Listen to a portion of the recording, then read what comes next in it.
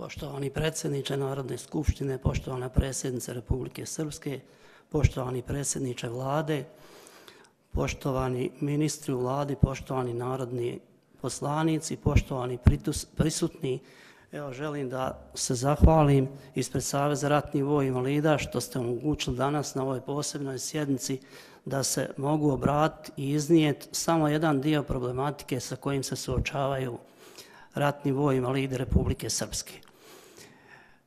U Republici Srpskoj po podacima iz oktobra mjeseca 2020. godine ima 30.330 ratnih voj invalida. Svrstani su u deset kategorija i evo kao što je ovdje već pročitano, od prve do četvrte kategorije tu su sve uvršteni ratni voj invalidi sa težim ozledama i povredama, a posebno ratni voj invalidi prve kategorije, a za njima druge kategorije, jer ratni voj invalidi prve kategorije velik broj ima koji su bez ekstremiteta, nogu ili ruku, koji su nažalost e, ostali slijepi radi određenih povreda koje su pretrpili u ratu.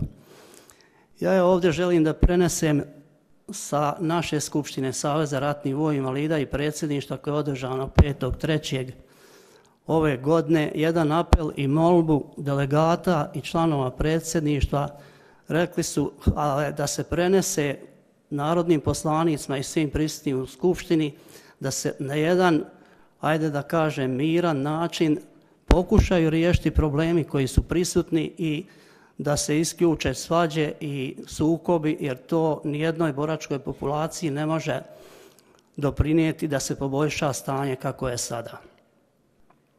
Ja često ističem, evo istaću i danas ove govornice, neću reći ništa novo, to vi svi znate, kad bi gledali sad Republika Srpska u kako je opasnosti, stalno je u isto u opasnosti, ali ovo je sve više i više udari na Republiku Srpsku i sa vanjske i unutrašnje strane.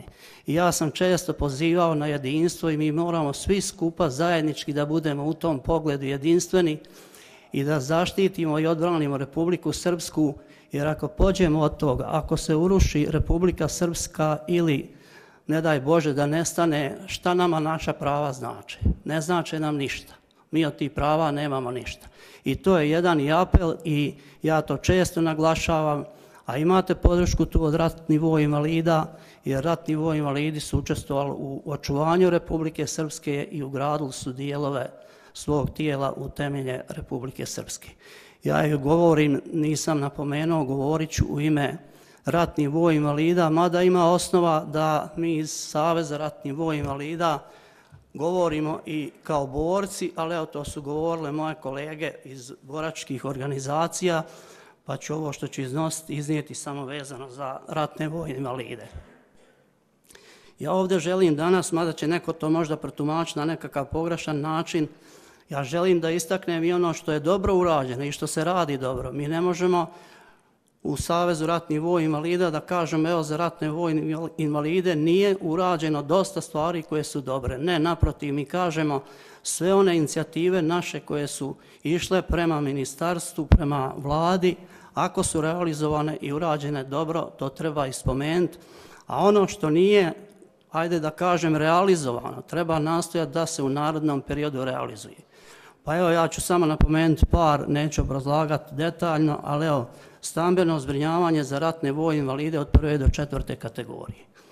Prva uredba je regulisala, odnosno dala je mogućnost da se to riješi, međutim iz nekog razloga ostao je jedan broj ratnih voj invalida koji da li nije znao ili na vrijeme nije podnio zahtjeve, nije bilo tada realizovano. Ispred Saveza ratnih voj invalida obratili smo se tada predsjednici vlade, gospođi Željki Cvijanović, koja je prihvatila našu inicijativu i započeto je sa pripremom uredbe, kako bi je nazval broj 2, gdje su imali mogućnost da prijave se za stambeno zbrinjavanje i oni koji nisu prvom uredbom bili obuhvaćeni.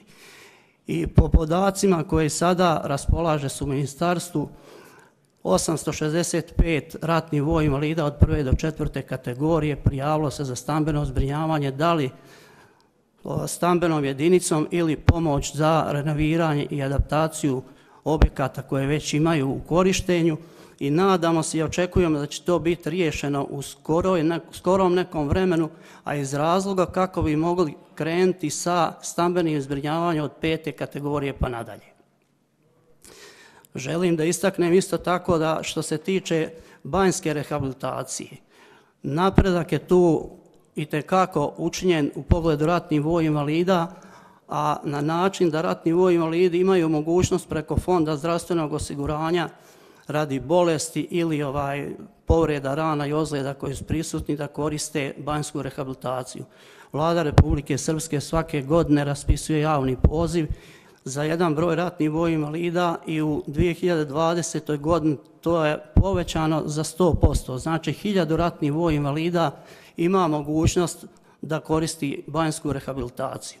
Amputirci imaju mogućnost da 14 dana koriste banjsku rehabilitaciju i ima jedna inicijativa da se pokrene da ratni voj invalidi svi od prve do četvrte kategorije imaju pravo godišnje na određene dane rehabilitacije. Želim još samo da istaknem vezano za ovo što se tiče ortopedskih pomagala, to je govorio kolega Volaš, ali ja ću samo dodati da je to u okruženju najbolje po nama, najbolje riješeno radi toga što je riješeno na način da ratni voj invalidi dobivaju novčani iznos i sami sebi traže, odnosno mjesto gdje će se vršiti izrada ortopedskih pomagala, a ja evo ovdje neću govoriti šta znače ta ortopedska pomagala za posebno donji ekstremiteti, to je, ajde da kažem kako je zovu umjetna noga koja nadomješćuje bar dio ove prave noge da se može kretati iako otežano. I ovaj, mi smo Savez ratnih voj invalida uputio inicijativu i to je prihvaćeno od strane ministra i od strane predsjednika vlade i za 2020. godinu povećano je za 500.000 maraka na iznos od 2 miliona. Ta sredstva će se iskoristiti za poboljšanje kvaliteta da se dođe do kvalitetnih ortopedskih pomagala.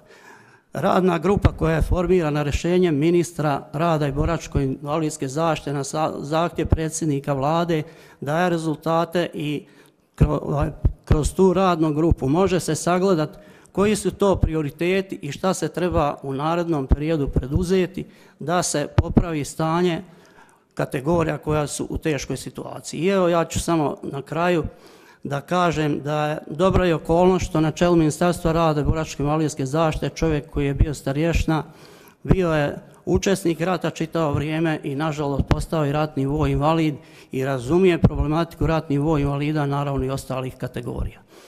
Sa Skupštine Saveza ratnih voj invalida u Prnjaru delegati i predsjedništvo zadužile, odnosno inicijativu, da iznesem i da zatražim da se u 2020. godini pokuša iznaći novčana mogućnost da se osnovica za obračun ličnih invalidnina obračunava prosječnom neto platom u prethodnoj godini.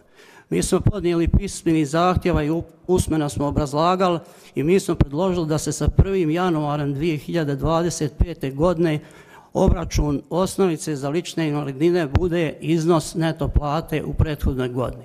Sada obračun invalidnine se vrši u procentu 76,80, znači 23,20 još kad bi se povećala lična invalidnina, onda bi pratila neto platu u prethodnoj godini.